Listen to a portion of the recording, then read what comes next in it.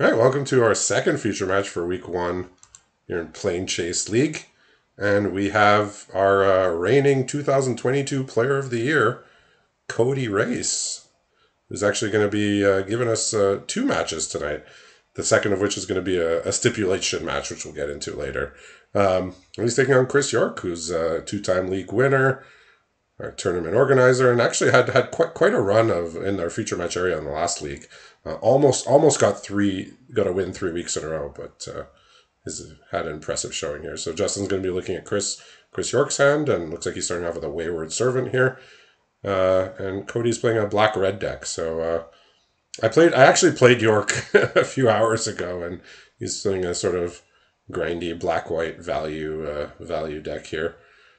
So uh, what's what's he looking at in hand here? Okay, well, besides the black white grindy value deck, he does have a forest in hand.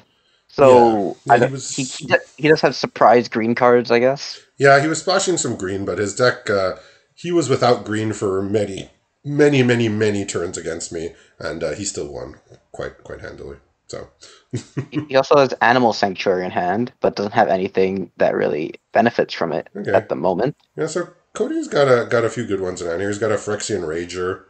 Always like to see that. Fetid Imp, Village Rites, two lands, and he has uh, this Subira, Tulzidi Caravanner. So uh, all all the made up words all at one place at one time. Oh, that's that's the red card with many uh with many words on it. Yeah, I think you can uh, you can tap it to give uh, a two power creature unblockable, and then later you can uh, discard your hand and draw draw some amount of cards when your creatures hit. Something like this.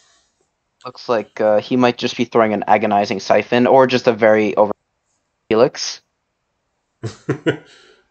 Cody's talking to viewers through uh, friend requests, for pulling up a friend request and typing things. He's Okay. uh, always the showman here. He always likes to put on a good show, like uh, we saw in the last league with his stipulation match, and then he has another one coming up tonight. So uh, he's getting ready to cast a rager here. Or at least Yeah, Chris. It. Chris doesn't really have much going on right now. He has two lands, a destroy evil, and invoke the divine, which does not hit anything. He has no good targets for any of his like interaction, so he needs to find creatures. Yeah, he needs to start blocking here, but uh, you don't you don't really want to block a skyclave skyclave shade, and uh, you feel a bit bad blocking a rager too since it, gets a card. Like, yeah, crit, cr- like these cards are already like, diff, like you know you don't really want to kill them, and Chris just top decked a murder, which doesn't really help at the moment. Besides, kill off a rager. Yeah, he Cody could just village rites here for value if he wants to, but he decides against it. Right, he's got a sprouting goblin, which uh, without a source of green is just a two mana two two that you can sack lands to draw cards later, which is still passable.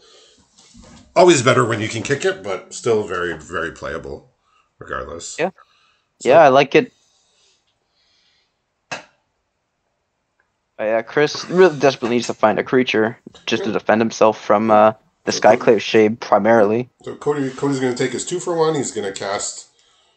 I think he he was he he, he, he, he clicked on the kicker cost uh, longingly. I think uh, wishing he could kick it, but he'll, he'll settle for a two two here, especially when his opponent's not doing anything.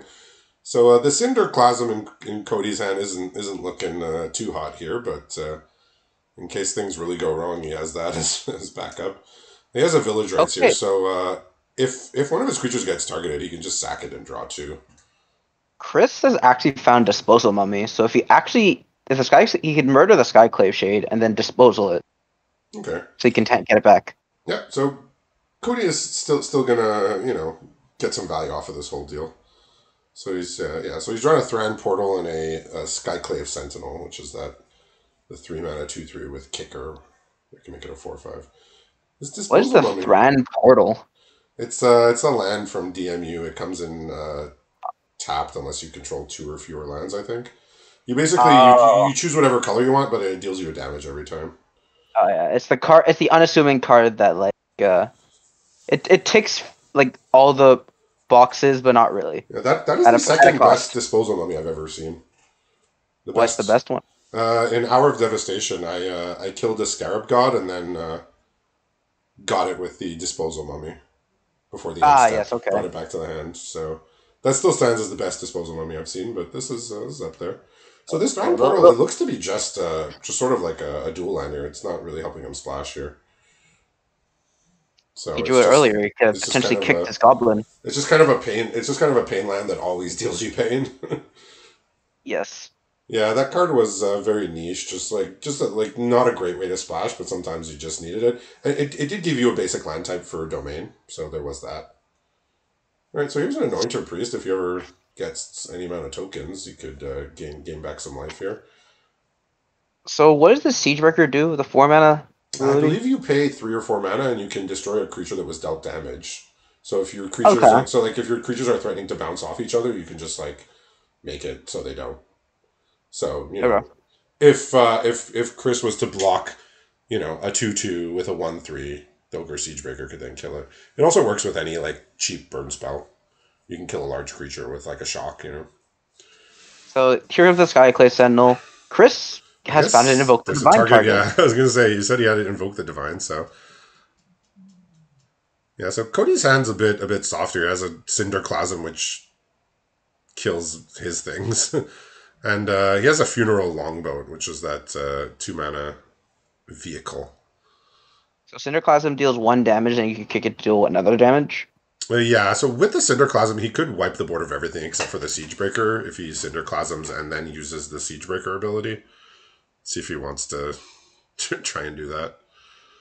So I don't believe you can put the. Uh, I don't believe you can put a counter on this uh, disposal mummy with the Animal Sanctuary. It's a jackal, No. I believe, rather than a a dog. they're they're from the same uh, family, but not quite. Yeah, so he's decided to deal one damage and just ping off. Yeah, so he's decided to go for the one damage option. So he just used his Cinderclasm as a one for one removal here. Yeah. I mean, sometimes you just do it. It was basically five mana to kill something. Yeah, so Here he's comes got the his- longboat. Yeah, he's got the longbow. I mean, the vigilance could be annoying here, especially if Chris doesn't have a, a creature capable of blocking it. Okay, well here comes here he embalms the Anointer Priest. Yeah, he's gonna Uh, gain we'll gain life. that one life. He's uh, accruing to pass priority, but little does he know that. There you go. All right, so Soul Sear is a five damage uh, removal spell here. I don't know if he, if he wants to push damage, he can he can uh, get rid of one of those creatures. We could also just attack and uh, make the blocks pretty bad. So the removal spell basically guarantees uh, a two for one here. If uh, if Chris blocks, which he probably has to. I mean, you can do here is you can attack with like the longbow and the imp, and if he double blocks the longbow, you just kill both creatures because of your your ogre siegebreaker. Yeah, so he's just going to attack with both. He's going to make the double block, uh, you know, pretty bad here. It's not even that bad. He only loses one creature. Yeah, well, he's gonna he's gonna get get soul seared here. Oh, I see. Yes, yeah, he's gonna use the removal spell here to to just kill both. Oh, so Cody's drawn an interesting card that uh, he's now checking his graveyard for creature types because he drew Haunting Voyage, which is a Kaldheim card. That Yeah, you can okay. you can you can reanimate two creatures of the same type, but if you foretell it, you just return uh, everything of the same type into play from your graveyard, or you choose a creature type. Okay, well he his board right now is an imp, a goblin, and an ogre. Yeah, and he has a And- he has a he has a human and a Phyrexian horror in his graveyard. So not very uh not very family like. I mean, it is still just a six mana, you know, reanimate anything, which is not not super efficient, but you know, when you have nothing else to do, you know, just get, get your get, get your get your best creature back for six is still kind of playable. So he's foretelling it here, just in the off chance that some uh, some things up in his graveyard. So what's what's Chris's last card here? a destroy evil, which Okay. has no card. He does not have any targets. That that that's correct. Now, now wishing that he might have destroyed evil the destroyed evil the uh the skyclave as, as opposed to invoke the divine, so he can kill the he's longboat. gonna haunting voyage. He's gonna pay. s- He's gonna pay a total of nine mana to reanimate a, a creature, I believe. Yes. Oh, here it is. I think that's lethal though. Yeah. It's uh, it's exactly what he needs because of the haste. So, you know, the haunting voyage. Uh, it wasn't fancy, but uh, you know, it got the job done there. Sometimes you just pay nine mana to get back your your two three with haste, and and it works. So uh, Cody is making sure that he we we recognize that he has called his deck York on Pains, which is a play on York on Games. So uh, he he wants to create some pain here for Chris uh, Chris York. He I think he sees it as a grudge match. I don't know if, if Chris York sees it as, as much. I don't think he sees any, I don't think he sees anything as a grudge match. yeah, he- he's pretty good spirit about everything. But as uh, as we were discussing before, they do have uh, these two do have some uh, I'll say philosophical differences on their approach to a strategy in league. You know, Chris York being very by the book. He's the you know he's been the tournament organizer. He's uh, you know very wants to adhere to the rules at all times. And Cody Rayce is always always trying to find uh, find ways around things and uh, come up with new ideas and new approaches.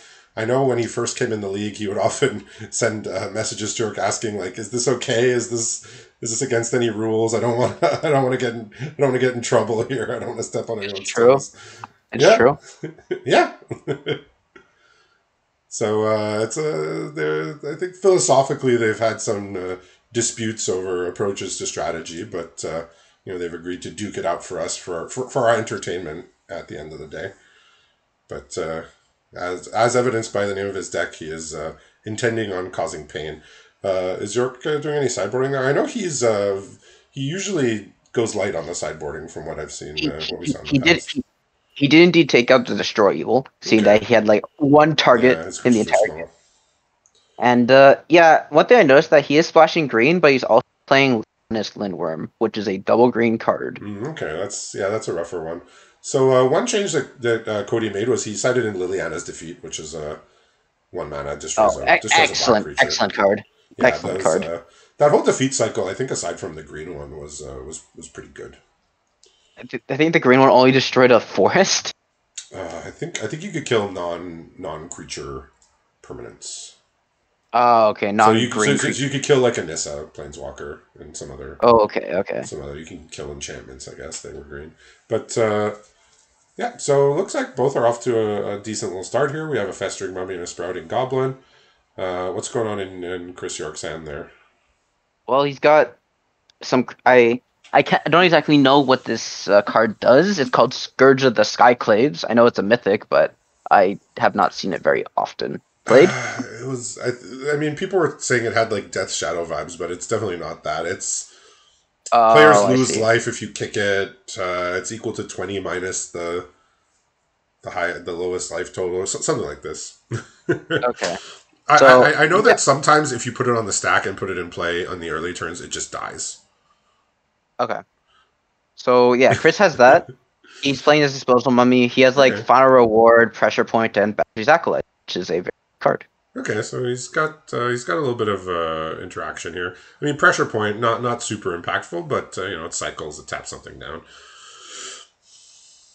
He does have action, but he unnotably he is missing a second white So, source to be able to play Cody's that Basri's gonna- acolyte. okay, so interesting use of splendid agony here. Instead of killing off a creature, he's just going to make them both small. Interesting. Uh, Now he's playing Zealot of the God Pharaoh, which was a card that originally was, I believe, in a Planeswalker deck, but then was printed as part on uh, when Amonkhet came to Arena. It just got put in the main set in Amonkhet Remastered here. It's getting siphoned. yeah, Chris just top decked that one. Pretty good Yeah. target to to siphon. Yeah, that Like that- we did see Yeah. a couple feature matches back that the Zealot of God Pharaoh did get a cartouche of a black cartouche on it and started just like siphoning life from the opponent. Yeah, pretty good. Uh, I do remember that I played against that in a draft, and I, um, I almost did not win the game because I just assumed it had reach. Because now, just like any creature that has a bow and arrow in their art has reach nowadays. So uh, I did not attack my flyer into it, thinking that it had reach. And then when my opponent attacked me with it, I realized, okay, it doesn't have reach. Why are they attacking me? But uh, yeah, I'm just so used to these like all these creatures that are holding a bow and arrow are just Good reach. So he's going to pressure point here just to cycle, I suppose. He's going to sack a land Yeah. here. I mean, uh, Cody's hand, aside from the Soul Series, just got two other swamps, so he, he wants to draw some action here. If Chris does play a good creature that's five toughness or less, though, uh, the Soul Sear will probably target it, but until then, Cody's just going to need to draw something impactful here.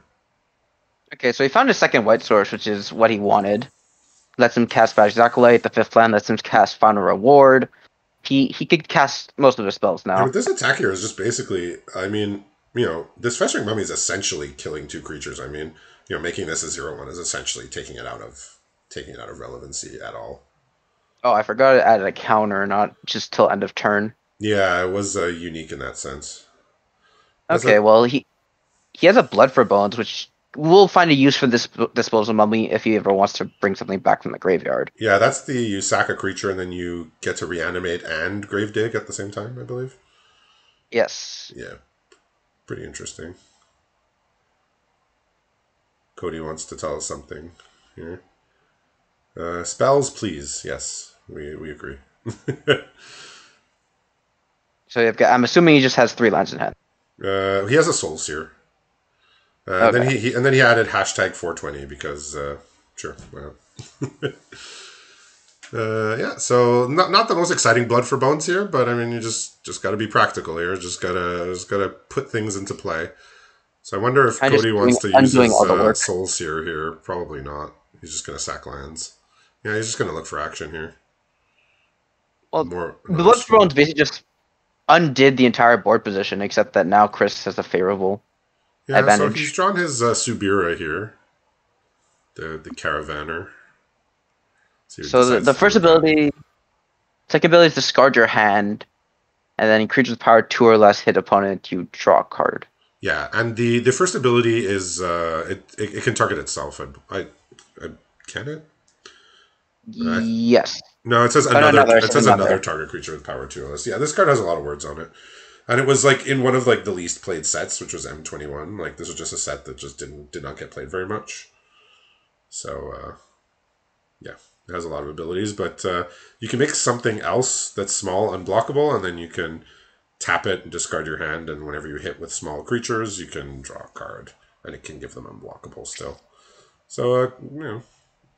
Uh, useful little card, not a bomb, but uh, you know it has it has its uses.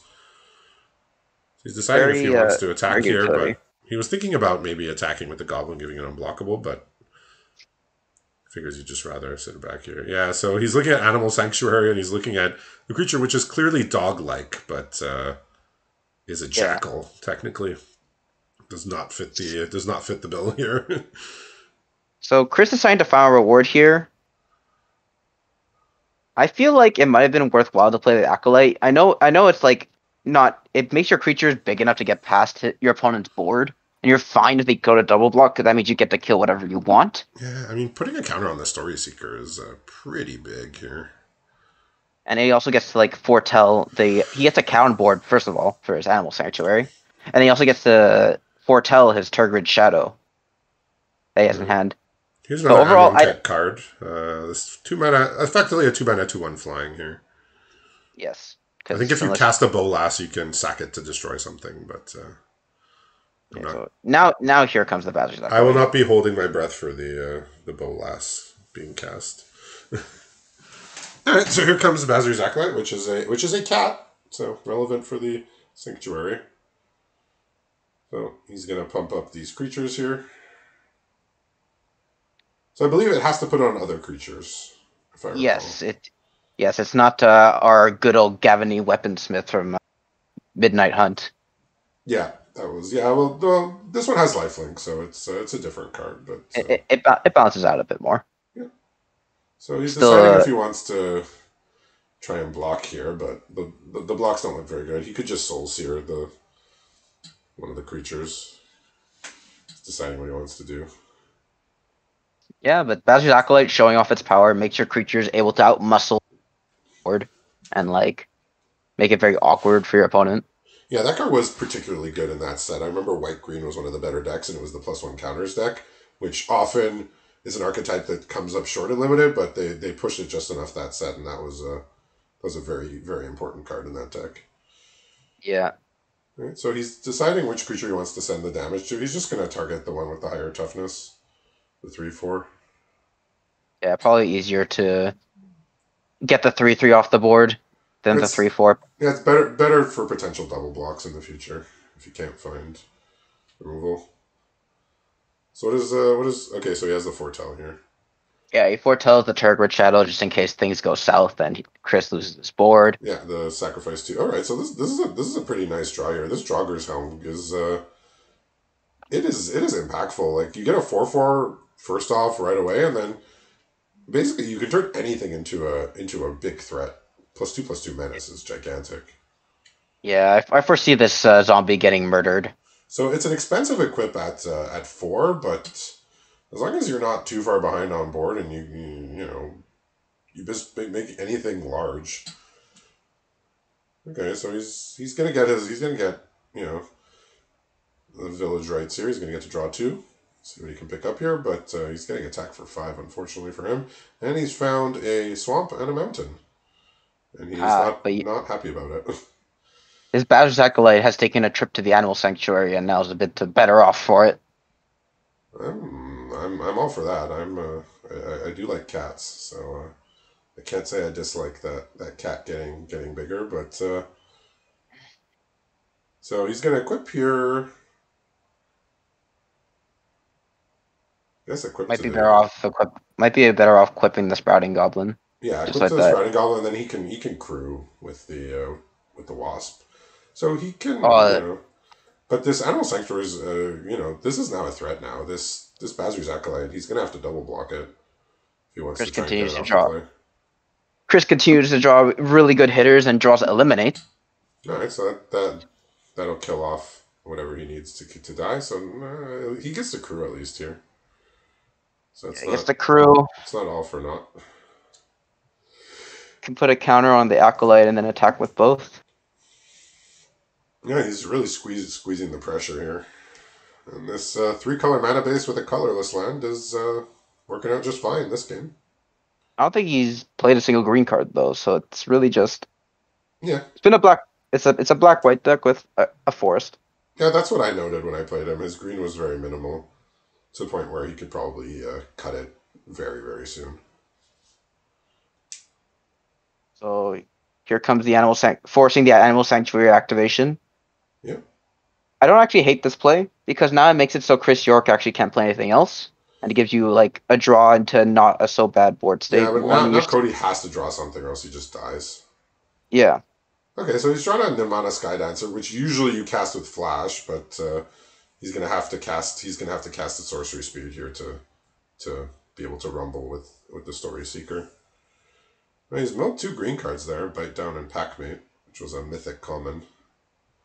Yeah, that pack mate was very nice. I think if I think if you are green, I think if you are green, the and, and you lose a match, that is that is uh, one of the number one cards you want to see a common here in week one, where we're opening Kaldheim. You're just hoping, where's that pack mate? All right, well, Cody has uh, written written uh, a word that is vulgar, so I won't repeat it there. But uh, he was not pleased with how that game uh, panned out there. Just just too many lands. So he's taking out the Liliana's defeat because there weren't many black creatures being played that game. it was mostly removal spells. Yeah. well, he saw he saw black white in the first game, so he said, "Okay, well, well it'll kill black creatures." But really, he didn't play any black creatures that game. I, still think there's merit to keeping the defeated. And like your opponent may have not played black creatures, but he certainly had some in the deck. So He's playing- Cody, can't- um, yeah, I, I will note he's looking to bring in Goblin Bird Grabber, which, uh, according to him, after several practice matches, uh, is actually bugged and does not actually work properly. But I think he just brought it in as a two mana two one. So uh, beware all of those with a Goblin Bird Grabber in your pool. Uh, it appears that the card does not work properly. It does not gain flying. Interesting. So I think he, I think he just brought it in as just a uh, just a thing to do in the early game.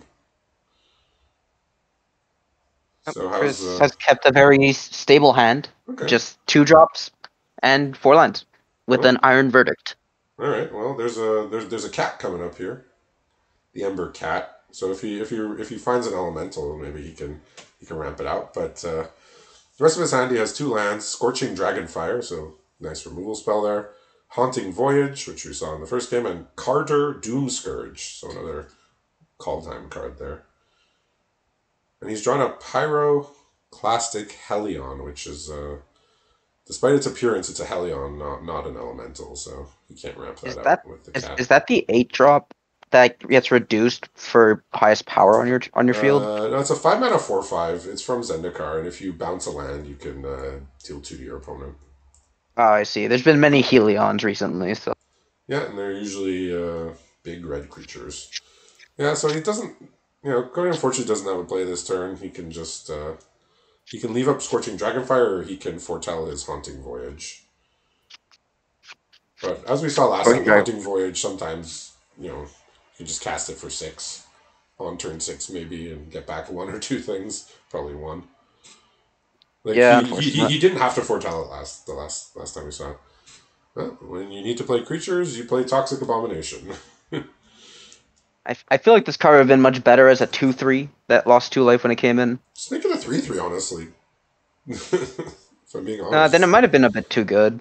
Oh, I, I can't imagine it would be too good. But, uh, well, he's going to make he's gonna make this Toxic Abomination attack, which I think Chris York was going to do anyway. So, So, is there a reason why the Scorching Dragonfire wasn't fired off at the end of turn? well, he just figured maybe this Toxic Abomination isn't worth it. He's at 20. He can take the 3. He'd rather hit something like, that he's actually scared of. I see. Yeah, So he was here- thinking about Dragonfire. Like he dragged it around a bit, indicating that he was thinking about casting it, but decided against it. Here comes the mythic uncommon, Sir, uh, mythic common, wolf's Packmate. I'm telling you, that card is uh, card is very very good. I think we forget how good it is now that we live in a world where Inspiring Overseer uh, exists as a Magic card. But uh, the card the card is still very good. Okay, well, that's getting scorched. Yeah. So that one he says want- uh, that one I'll kill. I'll, I'll kill a three three that draws draws a card, but I won't kill a three two that makes my opponent lose three life. No, the cards uh, on this board, the cards are not not that different. Yes.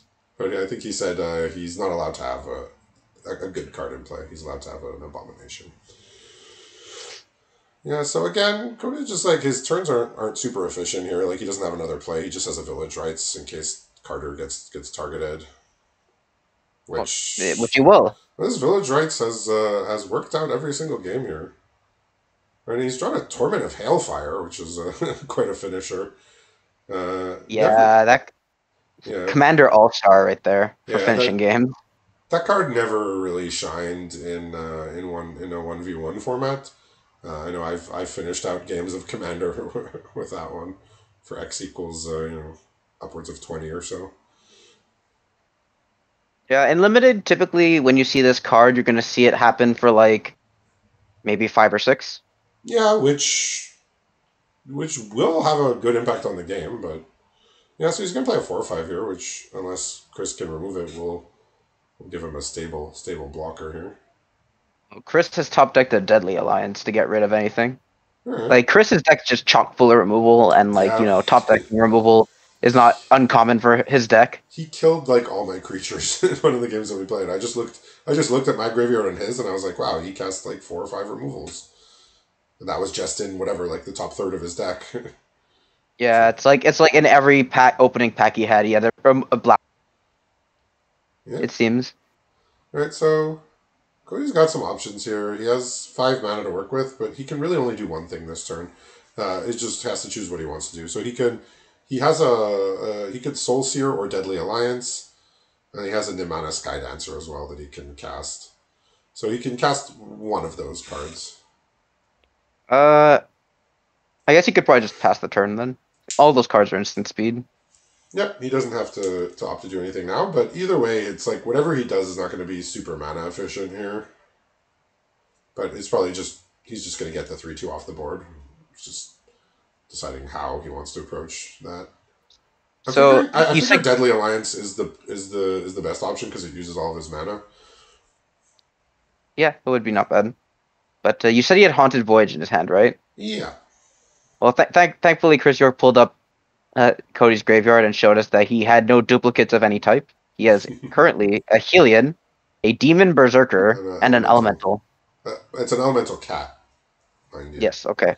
Very, very you know, it could it could matter. The yeah, so uh, he's gonna deadly alliance here, which means that if he draws a land next turn, he could play t- he could play his two three drops. I think that's the that's that's the conclusion here. So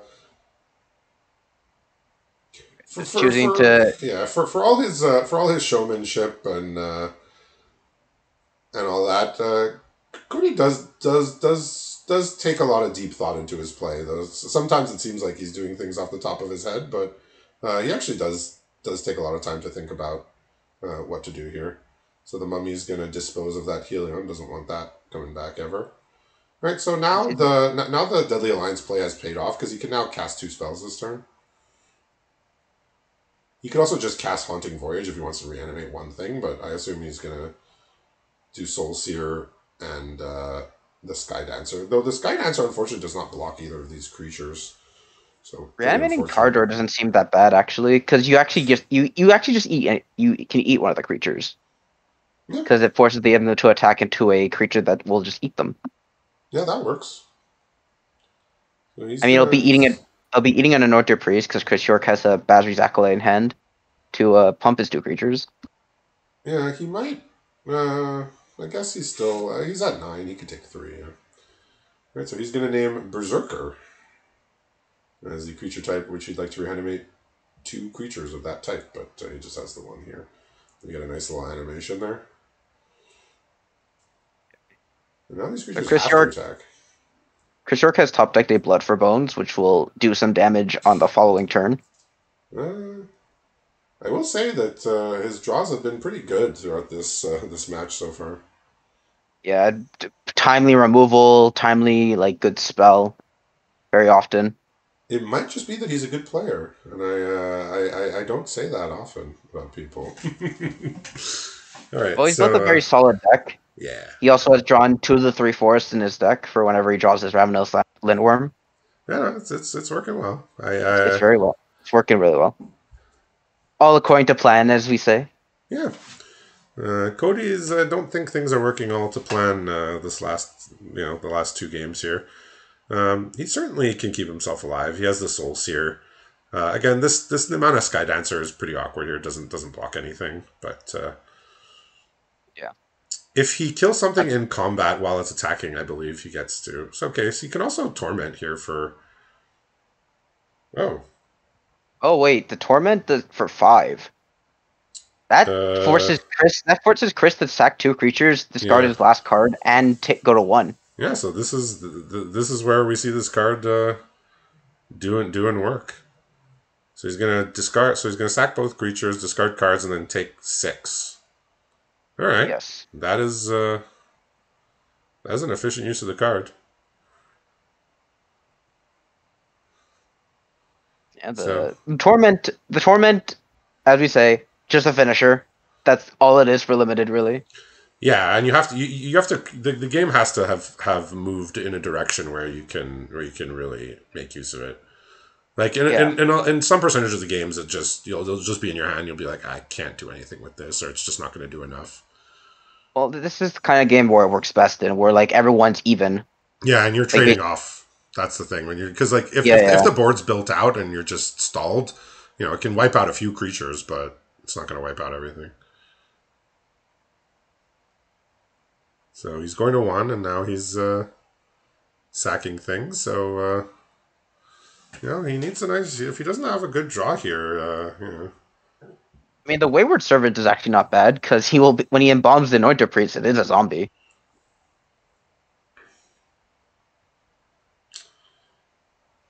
yeah, that's that is uh, that is that is two life uh, out of almost nowhere. So he is going to attack here. The Soul Sear can uh, can get rid of both of these creatures, and then uh, yeah. So then he's going to have Kardur, and then he has the Sky Dancer behind. So uh, now it's it's on York to find something here. It's it's it seems very reminiscent of Game One, where like York had to double block and the Soul Sear is nails the coffin in. Yeah, it's na- like Torment of Hellfire. You know, this is uh, this is what you put.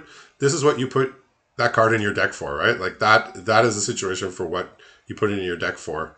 Uh, when it can just turn that game on its head uh, cha- basically changed everything, right? Chris York had had Yeah. his two creatures there.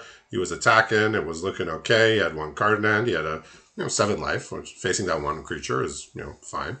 And uh, then it, it all went away with one card. So uh, congratulations to Cody Rayce for the win there, and uh, we'll be seeing him back uh, in a little bit for yet another feature match. So uh, come back for that uh, in just under an hour.